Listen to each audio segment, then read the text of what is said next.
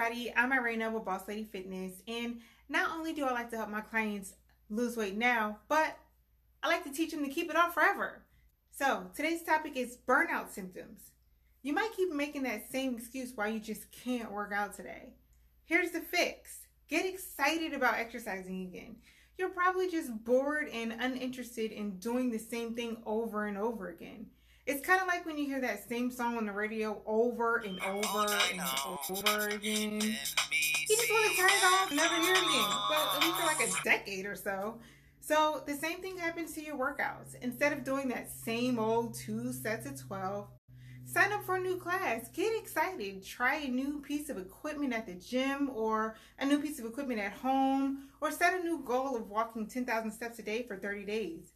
And something that you can actually track or log it into your activity tracker every day, day by day. If you like the video, go ahead and subscribe to my channel. And if you want more tips and help with weight loss, I have a few different resources for you to check out in the description below. So go ahead and subscribe and then check out those links below. Thanks for watching. Peace.